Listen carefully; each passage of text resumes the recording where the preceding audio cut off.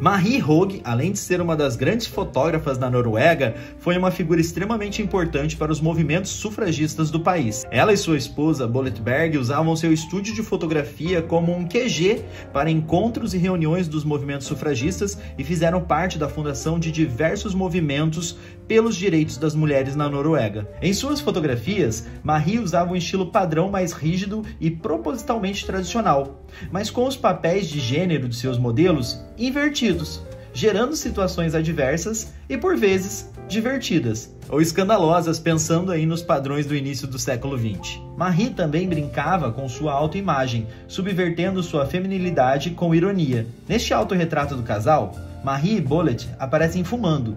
E por mais bobo que isso possa parecer hoje em dia, na época uma mulher fumando demonstra autoridade, independência e principalmente uma afronta aos homens, já que o cigarro era visto como uma coisa masculina.